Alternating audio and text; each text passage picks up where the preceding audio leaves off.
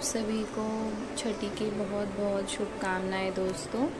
और मैंने अपने लड्डू गोपाल जी को झूले में बिठा दिया है और थोड़े से फूल लगाए हैं मैंने। और झूले की डेकोरेशन मैंने उतारी नहीं थी, इसीलिए छठी के लिए कि मैं इनको दोबारा झूले में बिठाऊँगी।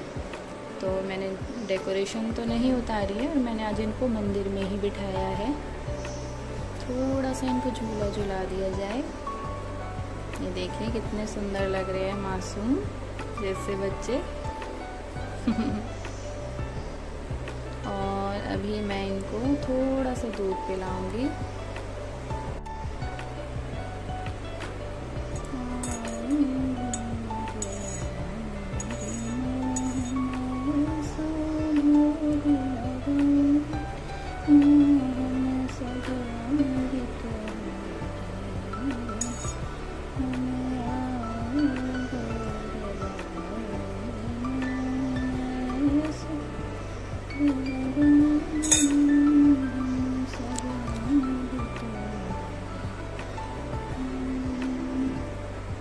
दोस्तों, अब मैं आपको हमारी छठी की थोड़ी सी तैयारी दिखा देती हूँ।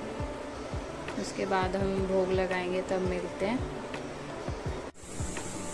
आज मैंने कढ़ी बनाई है छठी के लिए, लड्डू गोपाल जी की। और अभी कढ़ी में उबाल नहीं आया है। इसको मैंने, मैं पूरा प्रोसेस तो नहीं दिखा पाई, मैंने किस तरीके से इसको छोंका है, बिना प्याज के बनाई है। ऑयल में थोड़ा सा राई, सरसों सूखी लाल मिर्च थोड़ा जीरा, थोड़ी अजवाइन और हल्दी, नमक, मिर्च, इन सबसे मैंने इसको छोंक दिया। और मैंने इसमें मखाने डाले हैं और थोड़ा सा उबाल आ जाए तो मैं इसमें पकोड़े डाल दूँगी। थोड़ा सा मेरा किचन आज फैला हुआ है। देखिए।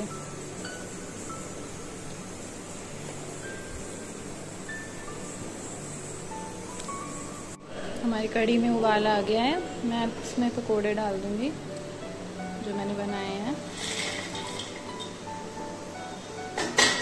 अब इसको हम अच्छे से पकने देंगे कड़ी को काफ़ी देर तक।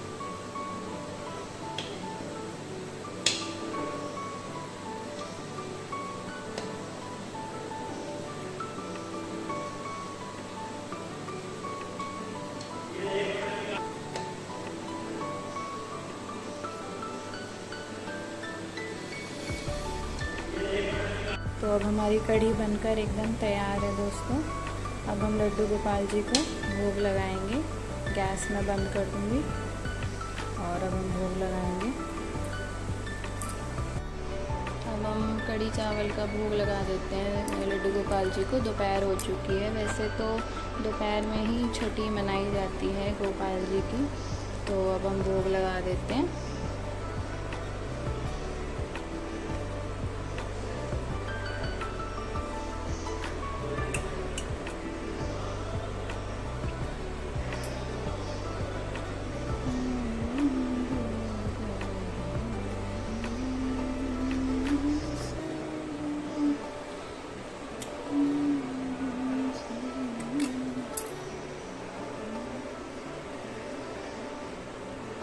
तो दोस्तों, यही हमारा छोटा सा छठी उत्सव था।